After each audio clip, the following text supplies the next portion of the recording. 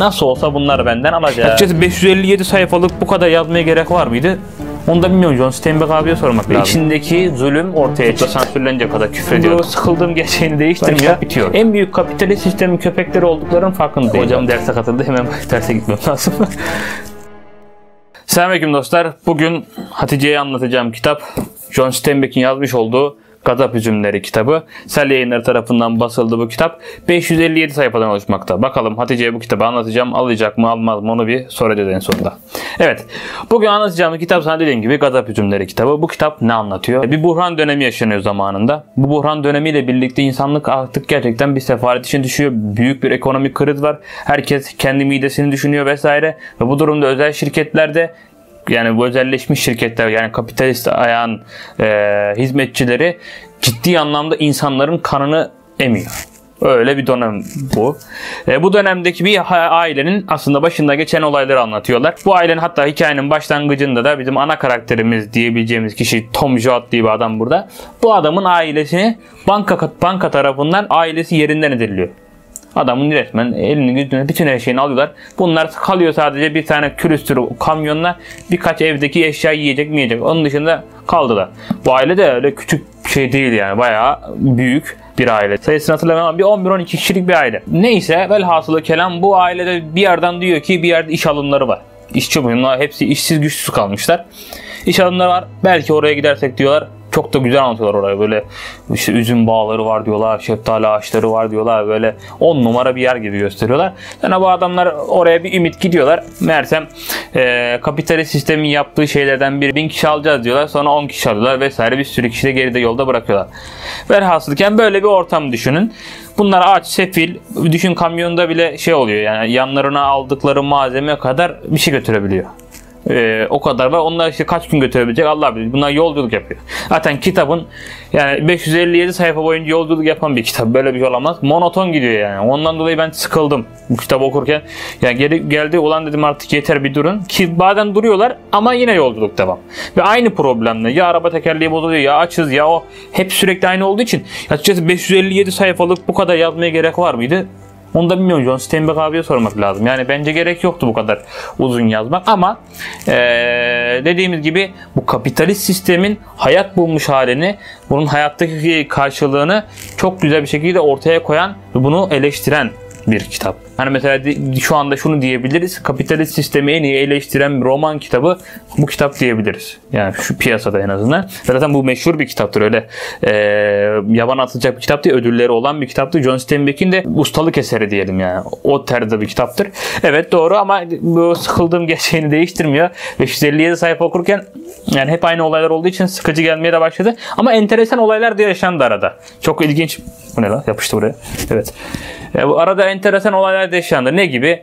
Mesela gerçekten dünya yani şu anda bile devam eden bir sistem. Bu kapitalist sistemin e, bu insanların e, üzerindeki hakimiyetini görebiliyoruz ve şimdi anlatacağım örnek de adamın o zamanki yazdığı örnek aslında bir nevi aynı. Bu tane e, yolda giderken yine bir araba bozuluyor. Araba bozulmadan durmuyor zaten. Külüstür beraber. Arabanın tekerleği patlıyor. Daha sonra yolda giderken bir tane tekerlekçi var. Koca yolda. Şimdi tekerlekçi ondan başka tekerlekçi olmadığını biliyor. Bunlar da ondan başka gidebileceği bir yer olmadığını biliyor. Tekerlekçi bunu suistimal ediyor. Diyor ki nasıl olsa bunları benden alacak. Ben bunlara kaç para geçirirsem bunları almak zorunda zaten. Tom Jot da bu Tom Jot o ana karakterimiz araba bir de kardeşiyle beraber gidiyorlar. Tabi bunu anlayınca e, bizim o Tom Jot'un kardeşi bayağı e, YouTube'da sansürlenecek kadar küfrediyor adama vesaire almak zorunda kalıyor. Ve yanlarında o kadar para yok yani. Onu aldığı zaman yiyecek alamıyorlar. Aile var 11 kişiler bunlar. 11-12 kişiler yani. Böyle bir ortam düşün. Şimdi ne oldu? Bir tane söz vardır e, Gelibolulu Paşa'nın sözü. E, zulüm nefiste gizli bir şeydir. Acziyet onu gizler, güç ortaya çıkarır. Burada tam o oldu. Şimdi tekerlekçi dükkanı, tekerlek dükkanı adamın sahibi o anda güçlüydü ve içindeki zulüm ortaya çıktı. O adam normalde piyasada güçlü diyebilir miyiz? O adam da alelade bir dükkan. Adam da muhtemelen fakir. Ama içindeki o zulüm ortaya güçlü olduğunda çıktı. Çok önemli bir detay orada da güzel bir örnek olarak karşımıza çıkmakta. Kapitalist sistemi böylelikle bir, böyle bir sürü olaylar var. Sadece bir tane anlattığım bir şey. E, e, kitap içinde bir sürü olaylar karşımıza denk geliyor. e, bu tarz kapitalist sistemi eleştiren bir yanı olduğunu söyleyebiliriz kitabın. Okuduğum zaman ben Tom Joad'dan bir beklentim vardı. Kapitalist sisteme karşı gelecek bir şeyler yapacak. O yapmıyor papaz yapıyor hatta papaz var orada bir tane enteresan bir adam karşımıza olarak çıkıyor. Yani o yapıyor. Ben anlamadım. Tom Joad o kadar şey yaptı. Haksızlığa karşı geldi. Hatta e, kitabın başlangıcında içeri girmiş bir adamdır. Sırf bu haksızlığa karşı geldiği. Öyle bir tipte bir adam. Tom Joad öyle yapıyor yapıyor yapıyor yapıyor yapıyor. Sonra kitap bitiyor orada. Ne anladım ondan ben de anlamadım ama. Benim eleştiri yapacağım noktada noktası da buydu açıkçası. E, Tom Joad karakterini çok bence pasif bitirdi yani kitap. Onun dışında dediğimiz gibi kapitalist sistemin bu ayaklarını çok güzel anlatıyor. Yani bugün günümüzde bakıyorsunuz. E, uzun göle gidiyorsun tamam mı? Uzun göle gidiyorsun. Trabzon Uzungöl. Ben bildiğim için bunun örneğini veriyorum. Uzungöl'e gidiyorum. Orası gerçekten Arapların turistik mekanı. Biraz da hafif de yukarıda bir yerde. Araplara sanki bir böyle zaten gelip alacaklar. Ondan dolayı biz bunları ezikleyebiliriz, tahkir edebiliriz, geçirebiliriz. Bu tarz politika gidiyorlar. Şimdi böyle olunca da bir tane gördüm. Adam ne yaptı? Aldı aşağıdan marketten, BİM'den eşyalarını, malzemelerini. Sonra yukarı çıktı piknik yaptı. Ne bir tane restoranta oturdu, ne markete gitti, ne başka bir şey. Sen şimdi bu adamı kaybet anlık düşündüğüm menfaat yüzünden ben zannetmiyorum. Eğer böyle devam ederlerse uzun gün zaten çok büyük ömrü olacağını düşünmüyorum. Çünkü Araplar ya bezer yani onlar da insan sonuçta yani. İnsana öyle davran da aynı dili konuşmasan da sonuçta o senin ifadelerini anlayabiliyor. O fiyatların olmayacağını anlayabiliyor. Sen kimi kandırıyorsun? Tamam zengin olabilirler ama geç, kazıklamak ayrı bir şey.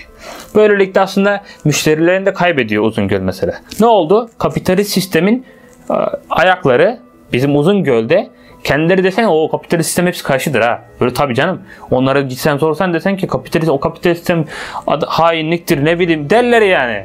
Bir de şu der ya onların şiveyle beraber kayarlar da kapitalist sistem ama en büyük kapitalist sistemin köpekleri olduklarının farkında değillerdir. Öyle de bir şey vardır. Bunu kabul etmezler ama yaparlar. Şimdi böyle olunca da karşımızda aslında bu e, John Stem'in Gadab üzümlerindeki bazı olaylar hayatta karşılığını görünce ki Gadap hücumların gerçekliği ortaya çıkıyor. E, çok gerçekçi yazılmış bir kitap. O anlamda birim kurgu falan bekleyenler yanılır. Bekleyersen de yanılırsın yani onu da söyleyeyim. Kitap dediğim gibi bu şekilde. E, aklına takılan bir soru var mı? Hocam derse katıldı. Hemen derse gitmem lazım. evet. Aklıma takılan bir şey yok. Ee, mesela diyelim ki ben bu kitabı ben anlattım sana. Diyelim şu anda kitap okumuyorsun. Bir kitap okuyacak olsan bunu okur muydun? Realist mi olayım? Realist o tabii. Ne, ben anlattım. Ben eğrisini doğrusunu hepsini anlatırım. Sen bana bakma. Ee, okumam. Okumam diyorsun. Eyvallah. Eyvallah. John Steinbeck abi üzüldü. Çünkü bir kere senden biraz etkilendim. He, biraz eleştirdin diye. Fondamenden dolayı. Hmm. Bir de bilmiyorum şu an herhangi o konu üzerinde bir o kitap okuma isteğim de yok. O yüzden Doğrudur. Zaten bunu bence kapitalist sistemi eleştirmek isteyen, e, o kapitalist sistemin hayattaki karşılığını görmek isteyenler bu kitabı okuyabilir. Bir de buhran dönemi hakkında fikir sahibi olmak isteyenler de okuyabilir. Buhran dönemi ciddi bir sıkıntı olan bir şey. Yani insanlar sefalet çekiyor. Bunun içinde önemli diyebiliriz. Diyelim böylelikle bu haftanın kitabını böylelikle noktalayalım. Kitapla muhabbetimizin son bölümünden Allah'a emanet olun. Bir dahaki kitapları Hatice'ye anlatmak üzere devam edeceğiz inşallah.